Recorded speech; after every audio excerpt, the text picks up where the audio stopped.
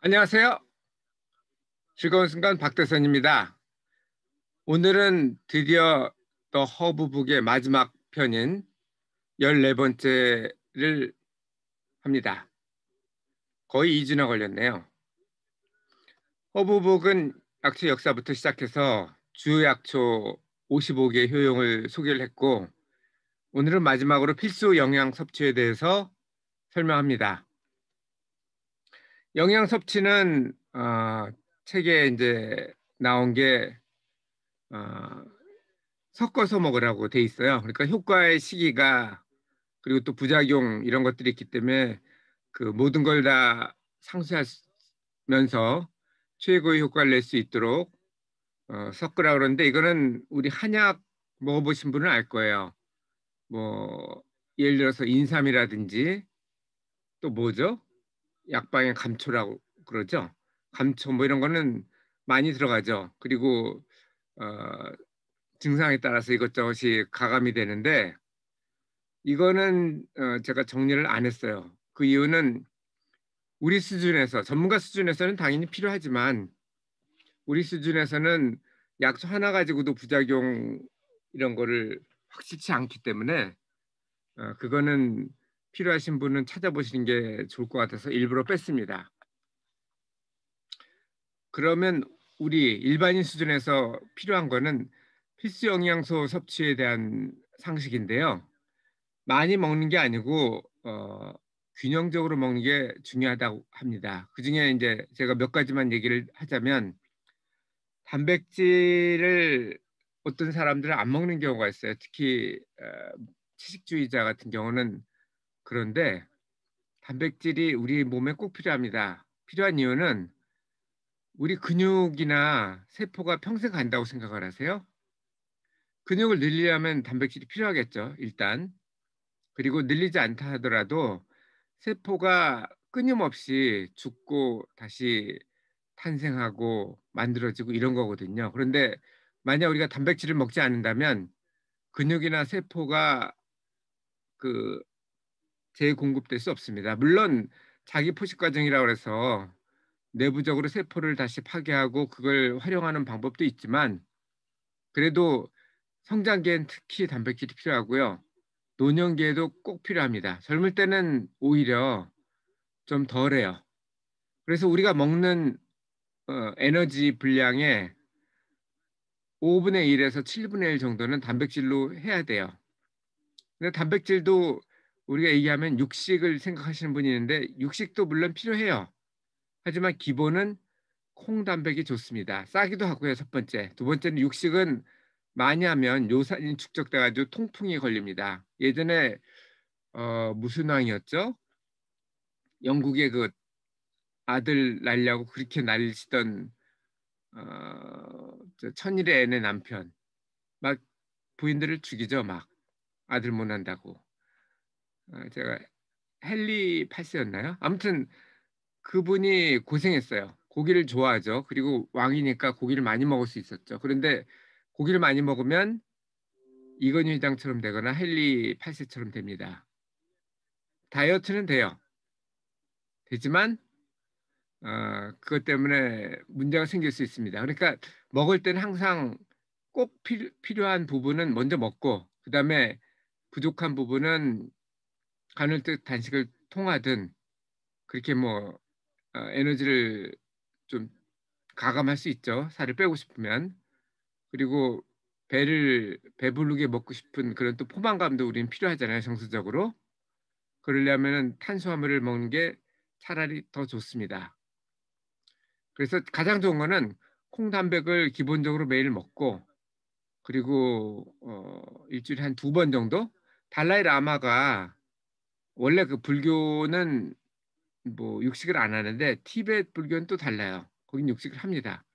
달라이 라마가 일주일에 두 번 육식을 한다고 하더라고요. 그러니까 저희도 그 정도가 최소한이 아닐까 이렇게 생각을 해봅니다. 그래서 기본적으로 어, 1kg 체중 1kg당 1g 정도의 어, 탄수화물을 넣어 단백질을 먹어야 합니다. 그러니까 저같이 제가 한 60kg 내외인데요.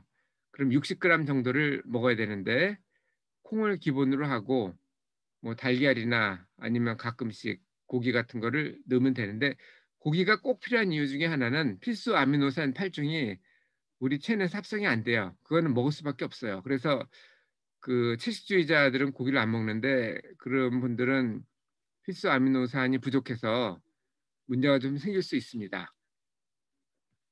다음은 어, 지방에 관한 건데요. 지방도 꼭 필요해요. 지방 뭐 나쁘다고 생각하시는데 사실은 지방도 꼭 필요합니다. 그 이유는 두 가지가 있는데 어, 지용성 비타민은 지방이 없으면 흡수를 못해요. 그래서 필요하고요. 또 하나는 어, 콜레스테롤이 세포를 만드는 그런 성분이거든요. 콜레스테롤이 나쁘다고 알고 있는데 그렇지 않습니다.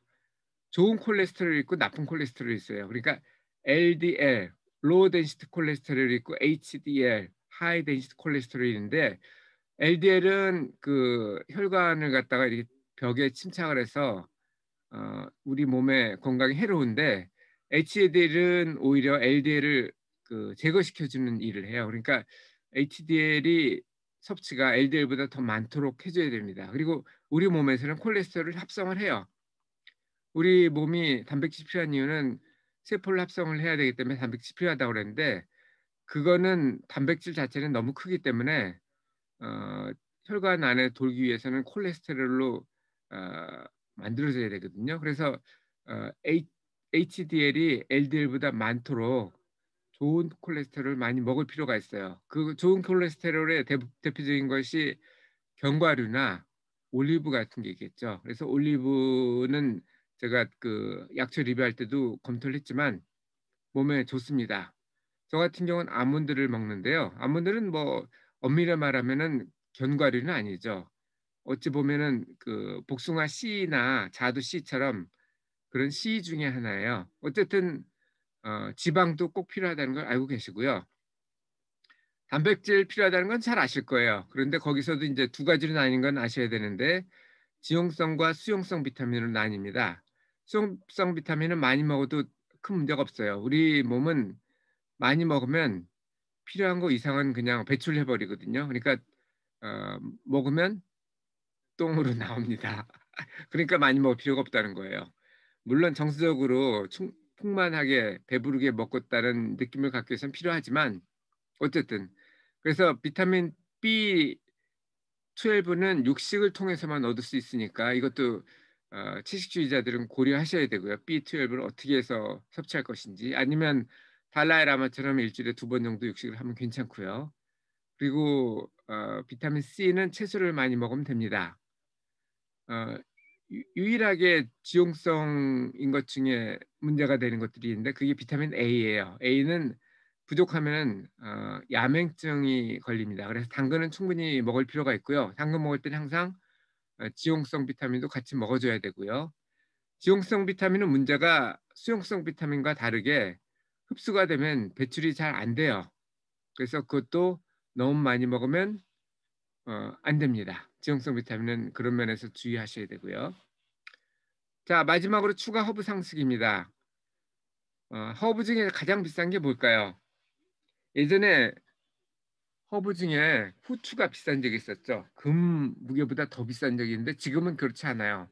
지금은 가장 비싼 거는 사프란입니다. 사프란 꽃이 여기 있는데요. 사프란은 여기 암술 빨갛게 이렇게 쭉 나온 게 암술이거든요. 세 대로 나온 게 암술을 말려가지고 쓴 향신료인데 이게 지금 금보다 비싸요. 파운드당 1000불이니까 뭐 400, 어, 400 한 40g, 50g 그거에 1000불이니까 엄청나게 비싸죠. 100만 원 아니에요. 이건 이란에서 거의 대부분을 생산을 하는데 이게 허브로서는 항암이나 항산화 작용이 있고 꿀향과 그리고 어, 색상도 이게 빨간색인데도 불구하고 노란색, 황금색으로 낸다고 하네요. 그래서 어, 호사브라는 사프라는 추가했습니다. 제가 그 55개는 안 넣었는데 그 이유는 우리 주변에 없기 때문에 구하기 쉽지 않기 때문에 넣지를 않았던 것뿐이지 비싸긴 이게 제일 비쌉니다. 그리고 허브 와인이 있는데요. 우리가 아까 그 섞어서 먹는 게 좋다라는 얘기를 했잖아요. 처음 시작할 때. 근데 와인은 만드는 거는 뭐 제가 얘기를 한 번 한 적이 있고 거기에 허브를 넣 넣어주면은 또 독특한 향미가 있습니다. 저 같은 경우도 한번 예 이 책을 읽고 해 봤는데 저는 어떻게 했냐면은 어 카모마일 티, 티백을 넣었어요. 그게 제일 쉽죠. 카모마일 구하기가 쉽지 않았으니까. 그거랑 비교해서 페퍼민트 티백도 넣어 봤는데 두 개를 비교해 보니까 제 입맛에는 페퍼민트가 더 좋더라고요. 좀 더 강하죠. 카모마일은 넣는지 안 넣는지 잘 모를 정도의 맛이었다면 로즈마리나 세이지는 안 해 봤는데 여러분도 한번 해 보세요. 그 티백이 있다면. 아니면 뭐 직접 잎을 넣는 것도 방법이 되겠죠. 로즈마리가 향이 좋으니까 좋은 어 결과가 나올 거라고 생각이 됩니다. 갤런당 어1 파운드 정도를 수일 동안 넣으면 된다 그러는데 저는 그냥 1 리터에 에 티백 하나를 넣습니다. 그리고 어 익모초나 뽕나무에도 나름 어 좋은 효과가 있다는 거를 어 그거를 어 알려드립니다. 자 오늘 마지막으로 약초를 마무리를 하는데요. 여러분은 소감이 어떠신가요? 저는 어 영양 성분이 많이 먹는 게 중요한 게 아니고 단백질하고 어 불포화 지방 이거를 꼭 먹어야 된다는 것. 그리고 육식도 물론 콩단백을 기 기본으로 해야 되지만 육식도 가끔 해야 된다는 것. 저는 뭐 돈이 없어서 많이 못 먹습니다만 1 주일에 1 번은 꼭 먹으려고 하고요. 어2번 정도가 적당한 것 같아요. 앞으로는 2 번으로 늘 늘리도록 노력을 할 예정이고 아 내일부터는 뭐 지금 방학을 했기 때문에 내일 할 수 있을 것 같아요. 내일부터는 허브 55 종을 정리를 해서 하루에 1 개씩 한2달 동안 방학 동안 올리려고 어 생각하고 있습니다. 그러니까 많이 기대해 주시고요.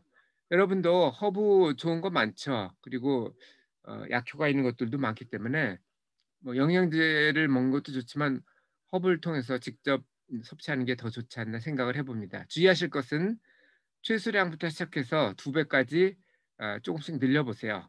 그리고 2배 이상이 될 때는 전문가하고 상담을 하시는 게 좋다는 걸 알려드리고 한약처럼 여러 개를 섞어서 먹을 때는 쪼끔 더 주의를 하시는 게아 좋다고 권고드립니다. 오늘 어 즐거운 순간 박대선이었습니다. 감사합니다.